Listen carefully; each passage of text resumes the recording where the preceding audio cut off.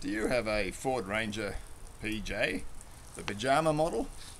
Look, there's one over there.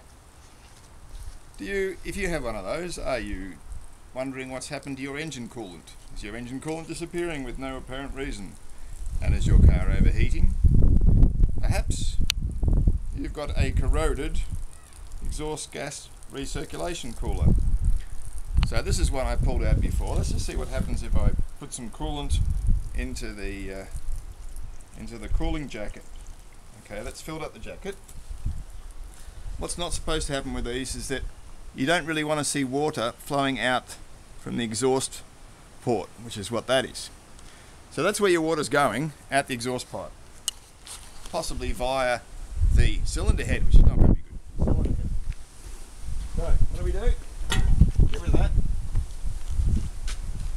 Gas recirculation is a pain in the ass. Whoever invented it needs a bullet in the brain.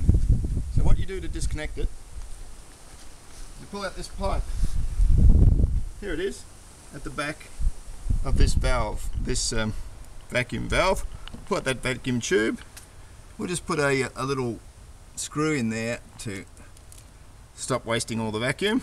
And that side will stay at air pressure and will not activate the EGR. Here's where the EGR used to be.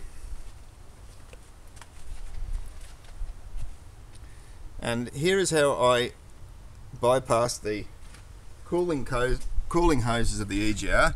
Simply put the input to the output there.